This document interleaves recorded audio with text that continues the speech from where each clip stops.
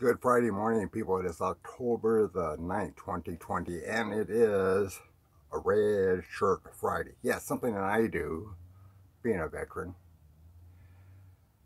Red Shirt Friday. Remember everyone deployed. Remember all the brave Americans, men and women who are serving this country, fighting, sacrificing, and dying for my freedom each and every day. This is the least I could do the least I could do for those brave Americans.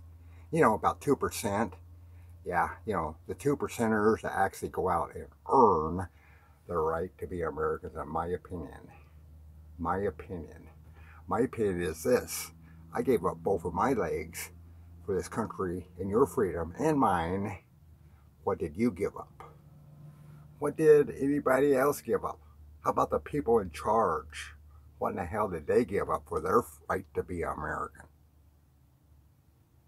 So it is what it is, baby. America. Land of the free because of the veterans. That's it. My opinion, my opinion only. You know, one who did go serve. One who did not use the system to cower out. you know what I mean? You know what I mean. So.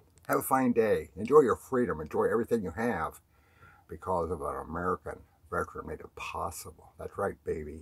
American veteran. You treat us like shit. Well, as far as I'm concerned, you get what you deserve, baby. Enjoy your day. Enjoy your freedom. Enjoy everything you have.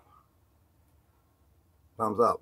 Thumbs down. Comments are always welcome on NW6G YouTube channel. Enjoy your Red Shirt Friday. Enjoy your freedom.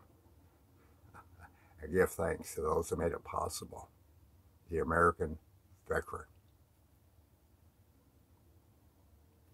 See you later, baby. Enjoy your day.